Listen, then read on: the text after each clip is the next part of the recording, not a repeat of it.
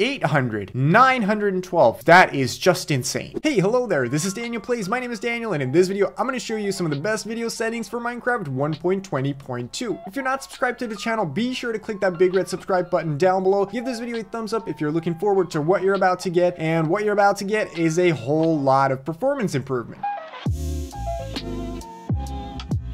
I'm going to show you how to get more FPS and reduce lag, but before we even do that, I'm to show you how to install Sodium, which will kind of just do the work for you. The first step to getting more FPS in Minecraft and having an overall better experience is to install a mod called Sodium. By just having this mod installed, you will already get more FPS. So let's not waste any time, and once you've already installed 1.20.2, you can just go ahead and get started installing Sodium. If you've never played 1.20.2, then click play, wait for it to install, and then come back. So now just open up your browser or use link down below in the description to the Sodium mod for 1.20.2. Once you're on this page, just click download Sodium right here, which will take you to the latest download links. Click 1.20.2 right here. And then once you're over on this website, click download. So once you've got the mod, just put it on your desktop somewhere where you can easily access it later. Now what you want to do is scroll down a little further on this Sodium download page and click installation fabric mod loader so as it says here first you need to download fabric mod loader there we go if you're on windows you click this button right here if you're on any other operating system click download universal jar I'm going to click Windows, click this program right here. See it says Fabric Installer, Minecraft version 1.20.2, then click Create Profile and click Install. If you still have the Minecraft launcher open, just close it, click Yes, that's it. Now all you want to do is go over to your Minecraft launcher, and as you can see, there it is, the Fabric Loader profile. So what you want to do next is click Windows R. If you're not on Windows, this won't work. So you're going to have to Google how to get to your app data folder on your PC. If you're in Windows percent app data percent, hit enter. This will give you all these folders, but all we need is this top one called .minecraft. If you've never installed mods before, there will not be a mods folder. So what you do in that case is right click, hover new, click folder, and name it mods all lowercase. Double click the mods folder, and then drag in sodium. There we go. We have now actually already installed sodium. You can close this, see if you're still using the fabric loader right here and click play. You may get this warning because you've just modded Minecraft, but if you do understand the risks, you can tick this little box and click play.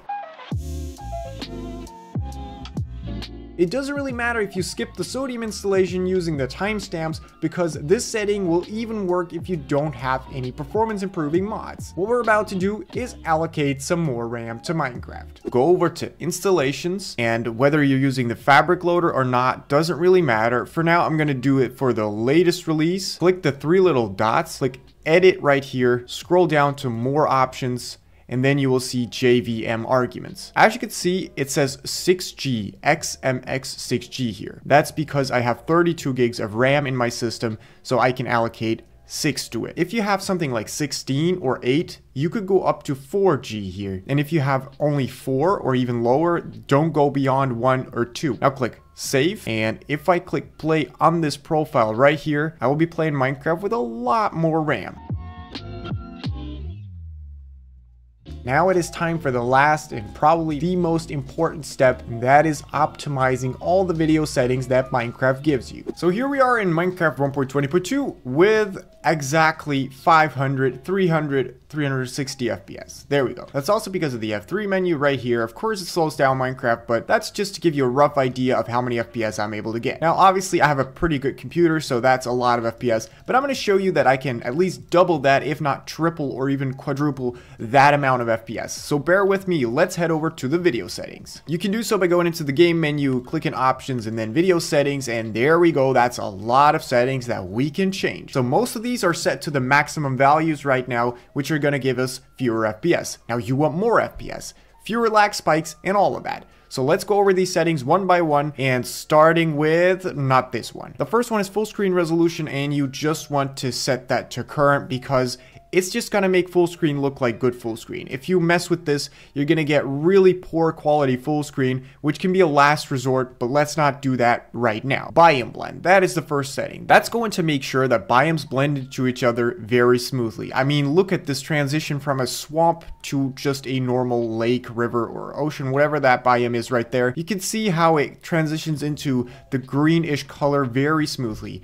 Now look at what happens when I set this to off, which is the fastest option, and Minecraft even tells you that. That is gonna look very ugly, not very natural. So I like to set it to something like fast, but if you want the maximum amount of FPS, set it to fast. Now graphics obviously is going to do a lot too. That is pretty much the setting that is going to depend whether you have transparent leaves and stuff like that. So if you want more FPS, set this to fast. What that's going to do is take out the transparency from blocks like leaves, like I said, but it's going to give you a lot more FPS. Chunk Builder, that is one that you should set to threaded. Smooth lighting doesn't really do a lot. You can just turn this off just to be sure, but it's not going to actually impact your performance. VSync is one that might work for people that have too many FPS or experience lag spikes but not low FPS. So you can try and turn that on, but it doesn't always work. So just see for yourself whether that actually makes it better. The GUI scale is just up to you. Brightness also doesn't do much. I like to set this to the max setting just so you can see a lot in Minecraft. Full screen is a setting that can actually help for some people because it reduces input lag, but just see for yourself, it doesn't really do a lot for FPS usually. then the mipmap levels, uh, you can set this to off and it's supposed to do something. It doesn't really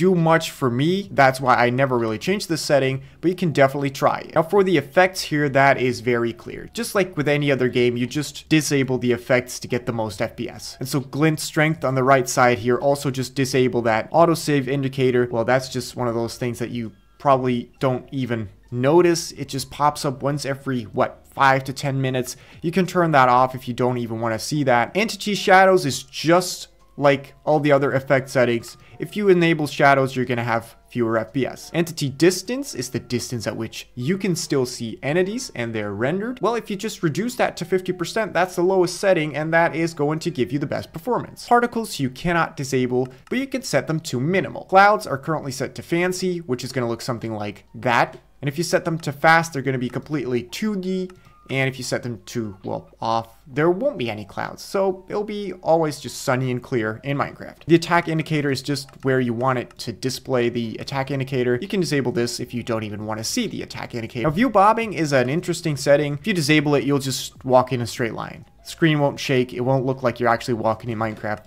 That's what that setting does. For the max frame rate, I like to set it to unlimited and uh, just keep it at that. Okay, so now I've disabled VSync. And if you remember, uh, when I was just showing you the settings earlier uh, and the FPS that I got with those settings, I was getting about 200 something, 300 maybe? Well, I told you I could double them, right? So I think I've just done that. 680, 700 FPS. That is just insane. I promise you, we can get even more FPS. I can more than double my FPS. Let's go back into the settings because you may be wondering why I haven't touched these two right here, the render distance and the simulation distance. Well, there's a good reason for that, because those settings are the most important settings in Minecraft. Maybe an unpopular opinion, but I definitely think they are.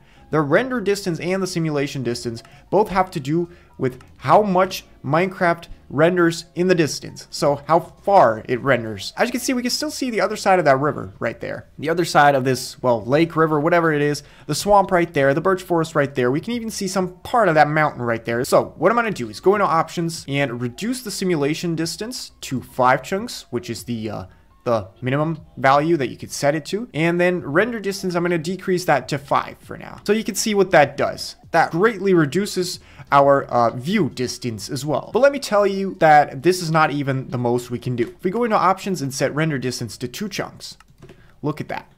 That is starting to get a little bit spooky, right? It's still playable. Like you could still still see creepers coming up from a hill like right there or fend off zombies because, you know, they'll they're gonna have to get close to even hit you. I guess Minecraft is still playable this way. That's what I'm trying to say. So now, with all these settings set to these values, let's take a look at my FPS. Pay close attention to the very first second when I load this menu. it says I get 1177 FPS compared to about 250 to what, 320? Before we did all this? I mean, if that's not a testimony to how good these settings are and how much, you know, you can do about your performance in Minecraft, then I don't know what is. These right here are the best settings that you can have in Minecraft. That's been it for this video. If you enjoyed it, be sure to give it a thumbs up. First, let me know down below in the comments how many FPS you had before watching this video and how many FPS you have now. Unfortunately, that is really all for today. I hope you enjoyed this video. Like I said, give this video a thumbs up, subscribe for more videos like this one, and then I will, as always, catch you in the next one. See ya!